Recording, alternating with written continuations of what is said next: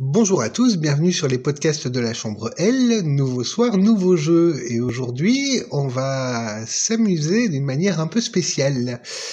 À chaque fois que votre partenaire va vous dire quelque chose de gentil, hein, euh, merci, je t'aime, je tiens à toi, peu importe le mot, pourvu qu'il vous touche, eh bien vous allez le lui rendre en acte, c'est-à-dire des caresses, des bisous, euh, vous rapprocher, faire un câlin, n'importe quoi.